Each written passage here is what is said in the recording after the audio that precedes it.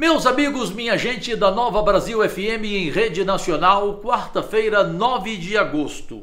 Ocupo o espaço para aplaudir o Supremo Tribunal Federal, que, em decisão unânime, na semana passada, declarou inconstitucional o uso da tese da legítima defesa da honra em crimes de feminicídio ou de agressão contra as mulheres o STF firmou o entendimento de que o uso da tese da defesa de honra não pode justificar a morte ou a agressão de mulheres, porque contraria os princípios constitucionais da dignidade humana, da proteção à vida e da igualdade de gênero.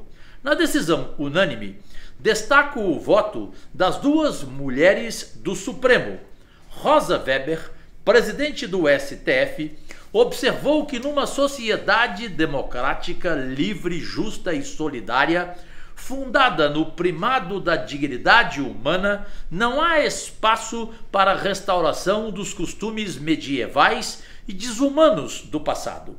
Já a ministra Carmen Lúcia enfatizou que derrubar a tese da legítima defesa da honra é mais do que uma questão jurídica, é uma questão de humanidade.